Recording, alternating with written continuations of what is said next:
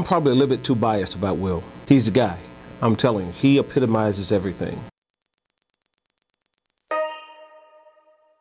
Will Bynum, born January 4th, 1983. Today's feature is a guy whose stunted growth story can also be written as a growth spurt story just the same. For a player under 6 feet to survive growing up in an environment like he did in Chicago, dealing with life in a big city as a young African American, crime and gang violence that tops other states yearly, and some of the toughest competition historically when it comes to point guards, he stayed focused off the court in his navigation through the cold streets while studying the game and dominating the competition as an individual when he stepped between the lines.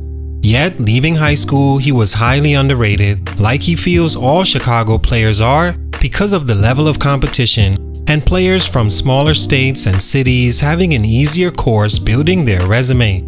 He didn't become a household basketball name leaving high school, decorated in McDonald's All-Americans, USA teams, and high major Division I schools clawing at him, but was able to secure a scholarship from Point Guard U Arizona, then Georgia Tech his final two years, finishing school finding himself underrated once again, going into a guard-heavy 2005 NBA draft where he went undrafted. I still remember watching Will Bynum in college as that guy that always seemed a diamond in the background to other players, who was unguardable one-on-one -on -one because of his elite ball control and crafty handling, something he was always known for throughout his career. He used that to blow by or freeze defenders just long enough to prepare for takeoff and finish with an advanced layup or above the rim highlight worthy dunk.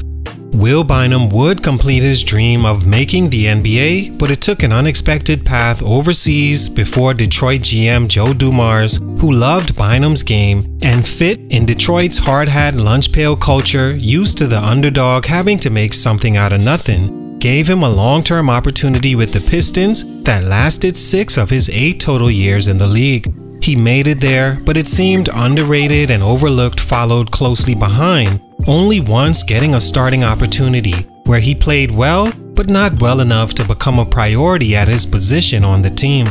But dynamic excitement, Will Bynum had it with the ball in his hands as one of the best ball handlers of his generation.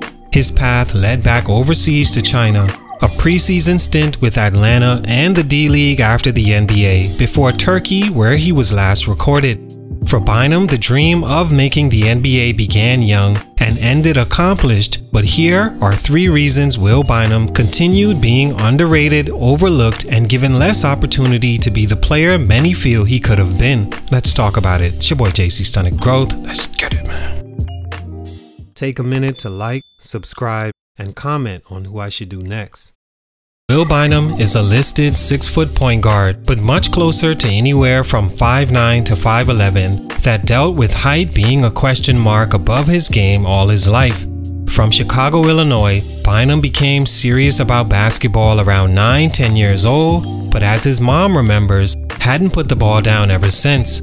He dribbled all through the house and worked on jumping exercises tirelessly, preparing for bigger competition and showing up against it more often than not. He says he was dunking on an 8.5 foot rim at 8 years old and playing in summer pro-am leagues in Chicago in high school filled with NBA players. Bynum would have 50 point games as a junior and senior, but was still unranked outside the top 100 until before his senior year, he finally got to play AAU and after shot up to the top 30. Even that wasn't enough to remove the chip on his shoulder from being overlooked. He chose Arizona and Lute Olson, playing his freshman year and eight games into his sophomore year before transferring to Georgia Tech to be closer to his mother who was falling ill. Stunt number one, schools of choice. The name of the game when choosing a college program to play for leaving high school, I believe, is to find that balance between a school that's in love with you and your game and has a clear plan for your career, mapped out with goals and honest expectations of where they see your college career with them headed, and potential as a pro. Also an estimation of the timeline they see for your caliber and if there's opportunity for you to fight and earn a starting spot at some point. Your fit at the place you choose can determine everything that happens in your life forever, so this is an important decision in every young Hooper's life. Will Bynum is an example of a guy that didn't do his future draft stock much justice with the schools he chose. His senior year, he committed and signed with Arizona as a two-star recruit according to 247 and therefore recruited over and not prioritized at a school like Arizona going to a lesser named school and him averaging 16 to 20 his freshman year, while showing he was much more, could have been accomplished elsewhere, but Arizona convinced him to join. With a packed roster, guys like junior guard and Arizona legend Jason Gardner and freshman guard Salim Stoudemire in the same undersized, score first combo guard mold as Bynum, were given more opportunity out the gate. Stoudemire instantly became the third leading scorer on the team, while Gardner was an NBA prospect who should have left after his junior year. Instead, he returned, meaning another possible year playing the bench for Bynum. The following year, the Wildcats added Hassan Adams and solidified Arizona was over as an opportunity for Will to play enough to build a draft-able resume. After eight games as a sophomore, he left to be closer to his ailing mom and joined Georgia Tech, where he'd have to sit out that season and watch his old team make the Elite Eight. At Georgia Tech, Bynum battled once again with a heavy guard roster in BJ Elder, Jarrett Jack, and Marvin Lewis, and found himself coming off the bench until his senior year. Jack and Elder still on the roster, Bynum if went to a different school where he could be himself and not have to sit behind higher profiled guards would have been drafted. He was that good. Instead, he didn't and uncertainty followed and took lead of his career. Stunt number two, a one-on-one guy. Out of Georgia Tech, he was just offensive, one-on-one player, just wanted to have the ball in his hand and do all the tricks. In four years in college, Bynum saw limited time, never playing more than 28 minutes a game. He used that time to get right to work and show he could be a scorer the defense couldn't stay in front of and crowd favorite. But as Joe Dumars said, at the time Bynum was showing signs of being one-dimensional, causing many teams going into the draft to label him just a one-on-one -on -one guy. They weren't 100% wrong, seeing as Bynum didn't offer much in assists, shooting, nor defense.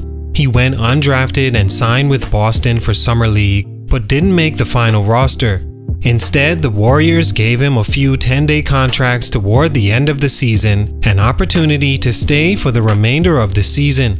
With no offers during the early offseason, Bynum decided to sign overseas in Israel, where he not only learned how to be more of a team guy, but was in the right place, right time, as Joe Dumars and the Pistons were recruiting Bynum's teammate Omri Casspi.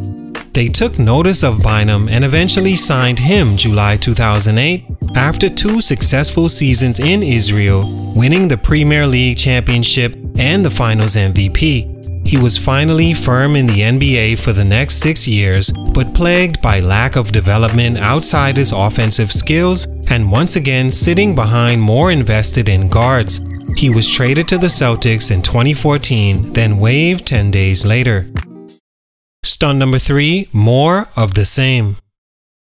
For Will Bynum, being counted out and underrated continued to be the theme of his story in the NBA.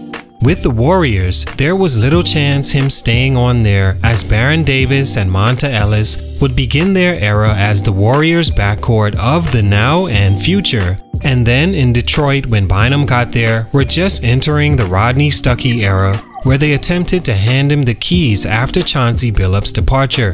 They were highly invested in Stuckey, and that lasted until both left the team in 2014.